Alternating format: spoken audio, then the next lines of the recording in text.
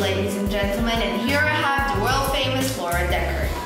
Tell me, please, LeBron Raymond James. Why did you choose to be a boxer? I always wanted to be like Michael Jordan. He was my inspiration. So I decided, like, why not try it? I can tell you one word that'll make the fans go crazy. Spreading.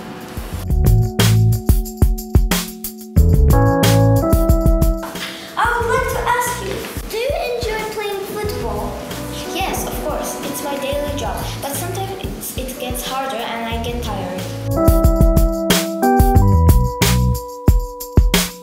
When do you think to retire?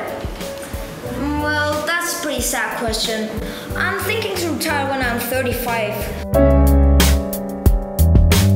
See you next on BBC News with another famous guy or woman.